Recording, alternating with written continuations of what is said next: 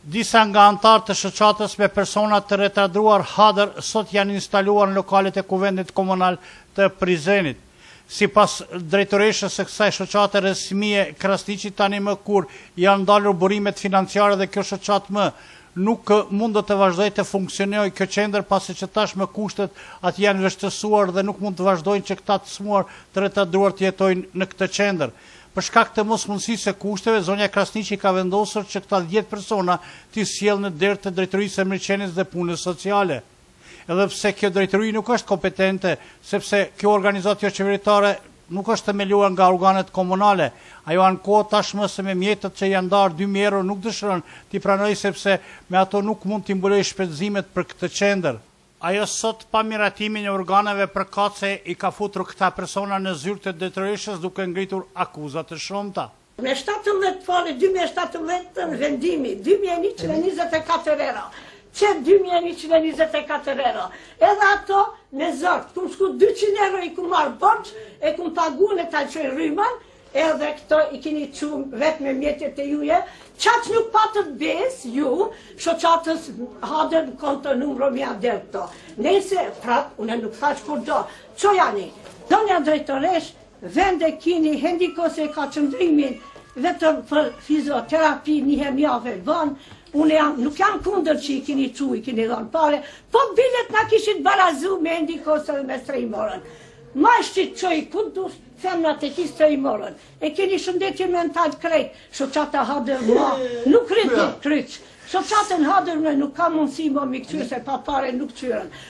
Drejtoresha nuk ka dashur të prononcohet lidhur me këta fëmijë për shkak të shqetësimit që i është krijuar, kurse zëdhënësi i Komunës së Prizrenit Ymer Berisha me këtë rast ka shpjeguar kështu, Këta anëtarë të shoqatës Hadër kanë thyer ligjin dhe kodin dhe i kanë bërë një sulm ndaj drejtoreshës së mirëqenies dhe punës sociale.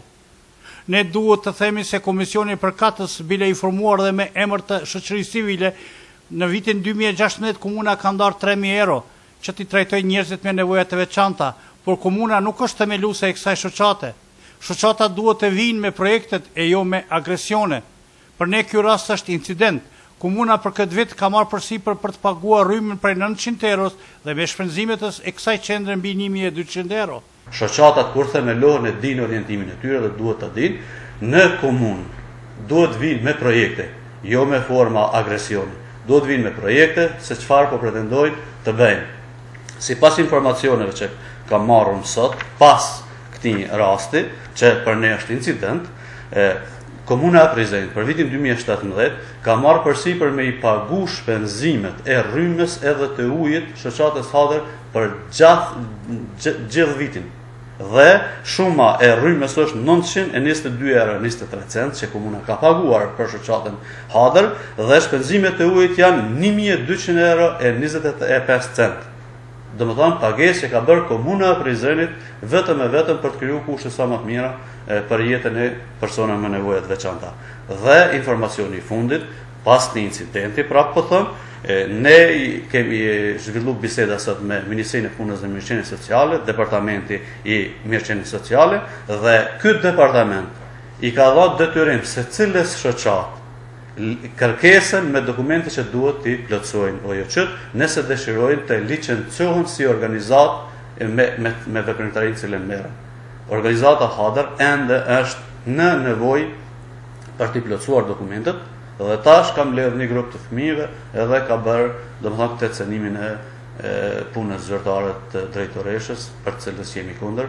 Lidhur me këtë, këta persona ende nuk dihet se ku do të sistemohen, apo do të gjendet mundësi tjera të sistemimit për këta persona.